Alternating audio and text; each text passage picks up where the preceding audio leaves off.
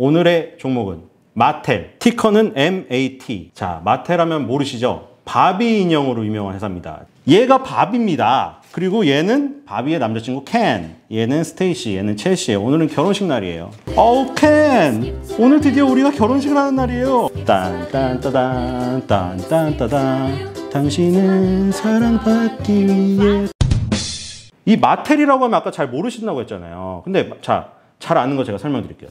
어렸을 때 인형 많이 갖고 놀던 그 소녀 시절에 갖고 놀던 아이들이 지금 3, 40대쯤 됐을 거예요. 그 3, 40대 분들이 잘 아는 거는 바비 인형이에요. 그리고 남자애들이 자주 모으던 거 있어요. 핫휠이라고 거기 뭐 포르쉐도 있고 직접 사기는 비싸잖아요. 거기서 diecast 사는 거예요. 그리고 육아맘님들은 제일 잘하는 거 있어요. 피셔 프라이스. 피셔 프라이스에서 나온 어? 요람 그리고 모빌 그리고 뭐 침대 이런 거 애들 마크 다 해주시잖아요. 그리고 토마스 토마스 기차 아시죠? 그것도 마텔 거예요. 그러니까 여러 여러 브랜드들을 말하면 알게 돼요. 아 이게 마텔사구나. 그래서 마텔의 가장 최근의 모습을 보죠. 뭘 하고 있나 도대체. 여기서 갑자기 느닷없이 ESG 경영이 나옵니다. 정말 의아하죠. ESG 경영? 우리 지금 어디서 들어왔습니까? 우리 막 우리나라 정부가 무슨 탄소 중립 2050년에서 2050년 탄소를 다 없애버리고 그래서 시멘트 회사랑 철강 회사 같이 탄소 많이 발생되는 회사들 발등에 불 떨어져가지고 지금 뭐 ESG 경영에 박차를 가고 있고 막 그 얘기 나오죠. 근데 ESG 경영을 인형 만드는 회사가 한다고 바비 토마스 만드는 이 회사가 하고 있습니다. 뭐 하냐? 마텔 Playback. 이게 뭔지 아세요? 마텔 Playback? 어렸을 때 갖고 놀다 보면 이게 손때도 먹고 저처럼 인형놀이 막 아까처럼 과격하게 갖고 이 관절 부러뜨리고 이러면 갖고 놀기 싫잖아요. 어? 이제 머리 쓰다듬기도 싫고 그런 것들을 버리지 말고 마텔 홈페이지 들어가서 표 하나만 꼬리표만 해가지고 붙여가지고 마텔 회사로 딱 보내잖아요. 그거를 재활용을 해서 새 장난감으로 만들어. 플라스틱 쓰레기가 문제가 많이 되는 거잖아요. 이거 만약에 땅 속에 버리면 100년 뒤에 발견될 거예요. 산 속에서. 이게 바비랑 매치박스라는 또 브랜드가 있고 메가토이라는 브랜드가 있어요. 이 세 가지 브랜드에 적용을 시킨 다음에 이게 효과가 좋으면 반응이 좋으면 다른 브랜드를 추가할 계획이라고 합니다. 그리고 우리가 2050 탄소 중립 외치고 있잖아요. 정부에서도. 근데 여기서도 외쳤어요. 2030년까지 우리는 모든 제품군과 포장재에서 100% 재활용되는 포장재를 쓸 것이며 바이오 플라스틱으로 생산을 하겠다. 2030 바이오 플라스틱 선언 같은 걸 한 거예요. ESG 경영의 선두주자입니다. 지금 오프라인에서 굉장히 인기가 많다가 약간 전통놀이, 민속놀이, 우리는 우스갯소리 민속놀이라고 하는데 약간 새로운 스마트 기기에 밀려, 밀린 것들이 뭐가 있냐면 레고가 있어요. 레고. 그리고 해즈브로. 해즈브로는 또 이쪽이 강력한 쪽이 있잖아요. 디즈니, 겨울왕국, 엘사 공주 이런 거 만드는 해즈브로고 이 마텔이 있어요. 이 세 가지 회사가 완전히 스마트 기기에 싹 다 밀렸, 밀렸어요. 그러다가 이제 막 이런 새로운 것들을 하면서 살아나고 있는 거거든요. 그래서 마텔은 ESG 경영을 하고 있다. 그 다음에 또 뭘 하냐? 그래서 바비는 바다를 사랑해라는 컬렉션을 출시했어요. 이게 뭐냐면 재활용 가능한 플라스틱으로 만든 컬렉션이에요. 이게 뭘로 만드냐면 멕시코 바자반도에 있는 플라스틱 폐기물로 요거를 만들었어요. 재활용 가능한 컬렉션으로 실제 제품을 출시를 했고요. 매년 4천만 대의 die-cast를 파는 매치박스라는 브랜드가 있는데 여기에서 2020년에 정식으로 99% 재활용 소재로 만든 테슬라 로드스터 die-cast를 출시 예정이에요. 탄소 배출권이라고 많이 들어보셨죠? 탄소 배출권. 근데 여기서 탄소 상쇄권이 나와요. 이건 뭐 중요한 건 아닌데 이런 가치를 실현하고 있다는 것 때문에 알아야 되는 거예요. 탄소 상쇄권이 뭐냐면 대기 중으로 배출하지 않은 온실가스에 대한 권리. 그래서 탄소 배출권이랑은 다른 개념인데 이게 뭐, 왜 나오냐면 매치박스에서 만든 아까 테슬라 로드, 로드스터 die-cast 있죠. 요게 콜로라도랑 몬태나의 초원 보존을 위한 탄소 상쇄권을 매입을 해가지고 Natural Capital Partners사라는 회사한테 carbon neutral 인증 딱지까지 받은 거예요. 그러니까 요거는 친환경 장난감이다라고 공인 딱지를 받은 거예요. 그러니까 탄소 상세권 나왔죠. ESG 경영 나왔죠. 무슨 재활용 플라스틱, 바이오 플라스틱. 갑자기 우리 무슨 화학회사, 무슨 석유회사에서 보는 ES, 뭐 이런 단어들이 인형회사에서 나오고 있어. 오! 마텔이 이런 것도 한다고? 또 좀 좋은 시각이 생기지 않나요? 저도 좋은 시각이 생겼는데 저는 그냥 막 애들 장난감 생각만 하다가 이걸 딱 보니까 야, 뭔가 되게 트렌드를 선도하는 회사 같다. 이렇게 생각이 됐어요. 이제 문제점들을 좀 하나씩 말씀을 드려볼게요. 요게 너무 이 정형화된 이 미인의 이미지 있잖아요. 요거를 탈피하고자 가장 최근에 뭘 내냐면 지금 코로나19 사태잖아요. 코로나19 6인의 0 시리즈를 출시를 했어요. 여기 보면 요 끝쪽부터 인종차별에 맞선 아시아계 미국인 의사들과 힘을 합친 의사 오드리 크루즈가 한 명 있고요. 코로나19 변종 바이러스 유전자 염기 서열 분석을 한 브라질 생물의학자 자클린 괴스데 지저스 그리고 아스 바로 제일 중요하신 분 이분은 이 여기서 마테사에서 만든 바비 인형 자기 거를 여기다가 어깨에다 올리고 인터뷰도 하셨어요. 바로 아스트라제네카 백신을 공동 개발한 옥스퍼드 대학교의 교수 사라 길버트 교수님. 자, 이렇게 여섯 명의 6인의 코로나19 영웅 시리즈를 출시를 했어요. 그러니까 지금 마텔사가 지금 뭘 하고 있습니까, 이거? 마텔사는 제가 보기에는 어, 약간 사회적 활동을 빙자한 마케팅을 하고 있는데 너무 좋다. 너무 적재적소고 너무 시기 유효적절한 마케팅을 하고 있어요. 제가 보기에는. 지금 나온 단어들 다시 한번 정리할게요. ESG 경영, 바이오 플라스틱, 99% 재활용 소재, 그리고 무슨 코로나19 영웅 시리즈 출시. 자, 이런 것들이 지금 다 화두가 되는 단어들인데 여기에 전면적으로 바비 인형을 투입하고 있다. 그래서 마텔이 이런 식의 활동을 하고 있다는 걸 모르시는 분이 너무 많아요. 야, 그 장난감에서 뭐 망했잖아. 스마트 기기에 다 밀린 거 아니야? 이거 이거 들으신 분들 새롭게 보시고 다시 마텔 연구하시고 지금 투자하지 말아야 될지 결정하실 이 개연성이 생기신 겁니다. 우리가 저 몬스터 베버리지에서도 했다시피 위기가 있고 기회가 있잖아요. 제가 위기랑 기회를 말씀드릴게요. 위기는 아까 설명을 드렸는데 스마트 세대의 탄생이에요. 그럼 이게 뭐냐면 그러니까 제 그냥 제 세대 때만 해도 저는 제믹스가 오락기였어요. 펭귄이 막 그 뛰어 넘어가지고 빠지고 막 미, 저기 미끄러지고 막 1942 그거 그 비행기 게임하고 이랬어. 뭐 요즘에 레트로로 인기 있더만. 근데 요즘에 봐봐요. 막 정말 현란하잖아요. 그래픽이 막 무슨 AR이다, VR이다. 인형을 안 갖고 논다고 지금. 근데 우리 때만 해도 이런 인형을 손에 쥐어주고 애들이 다 그거 손때 묻히고 놀았단 말이에요. 근데 스마트 세대가 등장해버리니까 이거를 안 사줘 버린 거야. 그안 사줘서 이제 몰락을 하기 시작하죠. 그러다 이제 결정타를 맞은 게 누구냐? 2017년 토이저러스가 파산을 합니다. 토이저러스가 가장 이 헤즈브로랑 이 마텔 그리고 레고 이런 회사들의 플랫폼 역할을 했던 장소였는데 갑자기 파산을 해버려. 근데 이 토이저러스가 파산한 데는 아까 스마트 세대의 등장도 있지만 또 하나의 이유가 있어요. 아마존이, 아마존. 자, 아마존을 좋아하시는 분하고 싫어하시는 분하고 극명하게 갈리죠. 아마존이 엄청 뛰어난 기업이라고 하시는 분이 계시는 반면에 얘네는 잔인한 공룡이다. 그러시는 분이 계세요. 다 먹어버렸거든요. 이게 1948년에 워싱턴 DC에서 시작한 회사가 토이저러스인데 이렇게 오랜 경력이 있고 이렇게 오랜 노하우가 있는 회사조차도 아마존이 공습을 하자 그냥 단번에 나가 떨어져 버린 거예요. 이게. 헤즈브로, 레고, 마텔 3사가 휘청했어요. 그래서 헤즈브로가 야 이거 도저히 안 되겠는데 우리가 마텔과의 경쟁 관계지만 지금은 지금은 어쩔 수가 없어. 그래서 헤즈브로가 마텔한테 인수 제한까지 얼마나 힘들었으면 뉴스 검색해 보시면 아니 헤즈브로가 엘사나 이런 거를 마텔에 뺏기면 사실 그 이미지가 없어져 버리잖아요. 근데 그거를 감수하고 얘네한테 인수 제한을 했어. 결국 인수가 되진 않았지만 그 정도로 어려웠다. 이게 만약에 2017년에 이루어졌으면 상상을 해보면 헤즈브로 밑에 아까 엘사만 얘기했는데 뭐가 있냐면 트랜스포머가 있고요. 겨울왕국, 디즈니 princess, princess, 스타워즈, 그게 플레이도우. 플레이도우 유명한데 그 플레이도우 찰흙 많이 갖고 놀잖아요. 그거. 그리고 모노폴리, 모노폴리 게임 아시죠? 그 브랜드를 싹 다 먹을 뻔했죠, 마텔이. 토이저러스가 2017년에 파산한 이후에 어떻게 됐느냐? 미국 최대 백화점 체인 메이시스에 지금 shop in shop 형태로 400개 입점 계획을 세웠습니다. 그러니까 토이저러스가 파산을 했지만 그 뒤에 이런 식으로 지금 쇼빈숍으로 지금 살아나고 있기 때문에 플랫폼을 잃어버렸던 것들은 어느 정도 복구가 될 거예요. 그 다음에 항상 이런 것들, 식품이라든가 인형, 이거 애들이 먹거나 애들이 갖고 노는 거에는 항상 무슨 어떤 이슈가 되는 큰 사건이 터지면 너무나 큰 타격이 와요.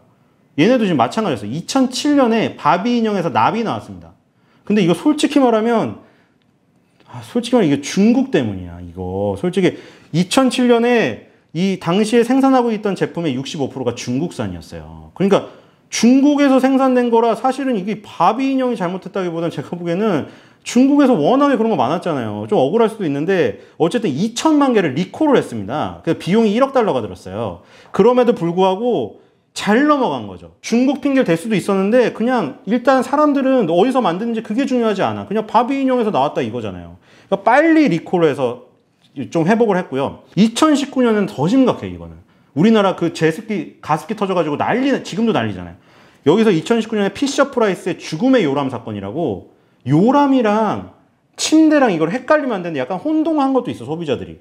그러니까 요람은 잠깐 애들을 이렇게 움직이게 하거나 요즘에 전자동 요람 있죠. 그건데 거기서 재워버린 거야. 사실은 그 행위가 있었던 거야. 근데 이게 피셔 프라이스의 문제였는데 제품명이 Rock 'n Play예요. 이게 뭐냐면 아기가 Rock 'n Play 찾아보시면 비스듬한 경사면에 누운 채 자도록 설계된 최초의 제품이에요. 근데 이게 요람이니까 잠깐 쉴 때 휴식할 때 해야 되는데 여기서 모르고 자버린 거야. 애기는 애기가 자버리잖아요. 그러니까 엄마도 자니까 냅둬 버린 거야. 근데 그 비스듬히 있으면 안 좋은 게 애기들은 기도가 막혀요.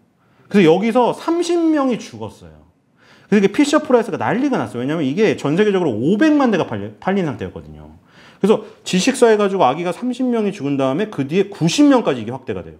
그래서 여기서 또 470만 대 대규모 리콜을 했어요. 바비 인형이든 피셔 프라이스든 이 마텔사가 주력을 삼고 있는 브랜드에 이런 사태가 터졌을 경우에 빨리빨리 리콜을 함으로써 잘 넘어간 거예요. 왜 리콜 안 하고 핑계대고 이러면 우리나라 가습기 사건 처음에 덮으려다가 엄청나게 커져버렸잖아요. 그렇게 돼버리는 거예요. 그 다음에 이제 세 번째.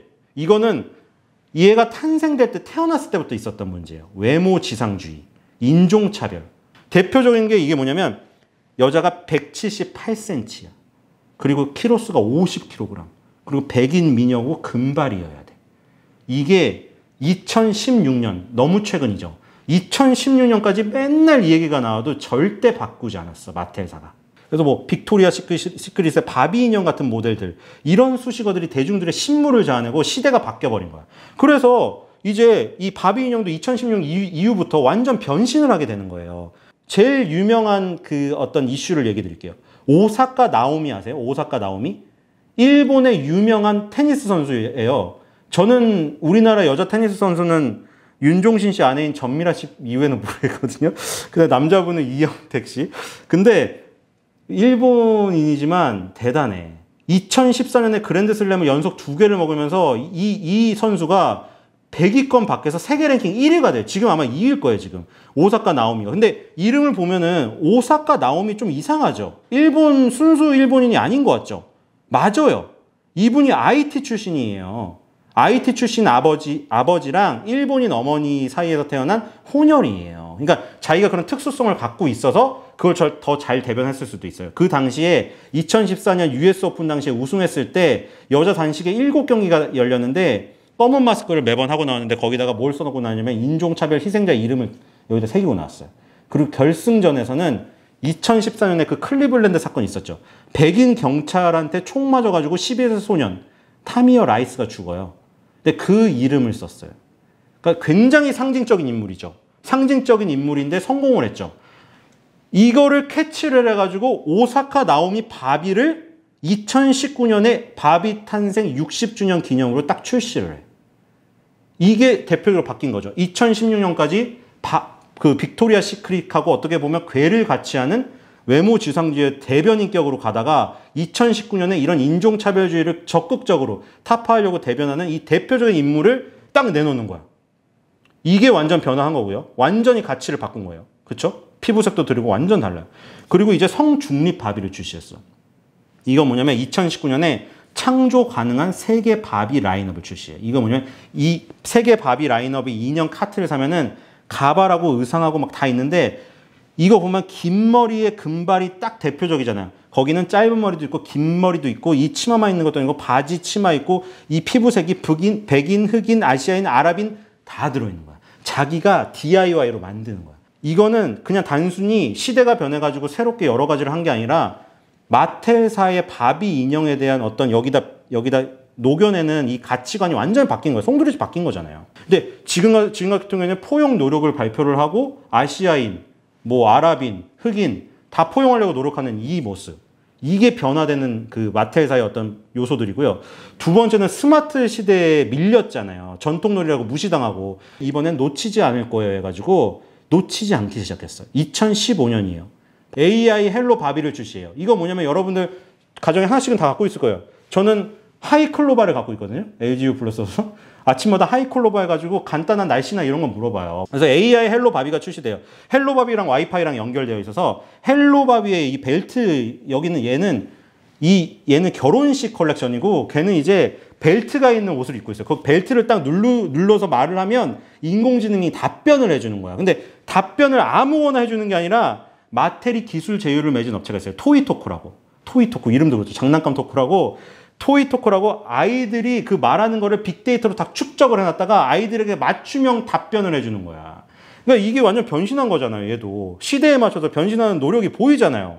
이런 것들. 그리고 2020년 10월 가장 최근이죠. 북풀이라는 회사랑 협업해서 드디어 나옵니다. AR. 얘네도 손댔어요. AR 기술을 접목한 바비가 출시가 됐고요. 토마스와 친구들도 AR 버전이 출시가 됐어요. 그러니까 이게 지금 뭐냐면 마텔사랑 헤즈브로랑 경쟁을 하고 있는데 헤즈브로보다 이 마텔사가 이런 면에서 지금 앞서 나가고 있어요. 그래서 제가 헤즈브로 나중에 할지도 모르겠지만 마텔을 먼저 준비한 거예요. 새로운 시대에 나온 단어들을 어쨌든 간에 다 건드리고 있어. 지금 아까부터 얘기 다 건드리고 있어. 인형 업체 중에 왕구 업체 중에 제일 열심히 해. 이런 것들을 열심히 하기 때문에 이런 변화들을 눈여겨 볼 필요가 있어요. 그리고 세 번째죠. 아, 어린이집 갔는데 애가 아직 적응을 못하고 너무 또래에 비해 키도 작고 이래서 막 맞고 오고 보내기가 싫은데 어떡하죠? 그러면 댓글에 이런 거 달려요. 아유, 그래도 어쩌겠어요. 사회성 형성하는데 도움이 되니까 그래도 보내셨는 게 좋을 것 같아요. 이런 여론이 많아요. 제가 지금 읽어보고 하는 얘기 이거. 제 헛소리가 아니라. 사회성을 형성하려고 인형을 다시 시작, 사기 시작했다는 거야. 이게. 옛날에 안 사던 인형을 사회성 형성으로. 애들은 이 놀이를 하면서 사회성 형성을 스스로 하는 거예요. 이 역할극을 하면서. 애들이 자유롭게 해보는 거잖아요. 그래서 이걸 다시 사기 시작했다는 거죠. 그래서 스마트폰 동영상에서 빠져나와서 다시 이 손맛이 있는 전통 인형 놀이로 회귀를 했다. 이게 맘카페에서 댓글만 읽고 한 얘기냐?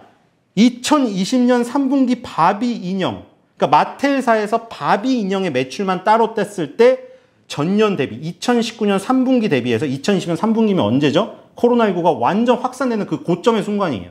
전년 대비 30% 가까이 증가를 했어요. 근데 이 기록이 20년 만에 최고치의 성장률 기록이 나와버렸어요.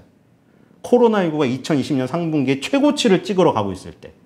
아주 역설이죠. 코로나의 역설이에요. 이제 의문이 생기겠죠. 코로나19 특수가 풀리고 다시 애들이 유치원 가고 학교 가고 이래버리면 거기서 그럼 또 스마트폰 하고 닌텐도 위 집에서 하고 그런 거 하는 거 아니야? 동물의 숲하고. 근데 아까 말했듯이 쭉 보면은 지금 하고 있는 것들이 AR로 접목을 시키고 인스타그램, 유튜브 채널을 활용해서 적극적으로 활용을 하고 있고 그 다음에 요 외모 지상주를 타파하려고 여러 인종들에게 그러니까 이런 모습들이 이런 변화의 노력들이 코로나19 특수 상황에만 국한되지 않게 만드는 요소들이라는 거예요. 그래서 이런 것들을 보면은 코로나19 국면에 빚을 봤다고 할 수 있지만 이 빚을 코로나19 이후에도 쭉쭉 이어갈 수 있는 부분이 보인다. 이런 것들이 모두가 지금 삼박자가 맞춰서 지금 움직이고 있잖아요. 그래서 이런 시점에 저는 마테사에 관심을 가져야 되지 않나 싶고 코로나19 국면에서 그 자녀분들에게 인형놀이를 시켜주신 분이라면 이 마테사의 투자 포인트에 적용을 시킬 수가 있다. 이런 생각이 듭니다. 자, 오늘 해품주 2화 마텔 밥이 난 죽지 않아 다시 태어날 뿐 시간 마치도록 하겠습니다. 해외를 품어서 부자 되자. fly.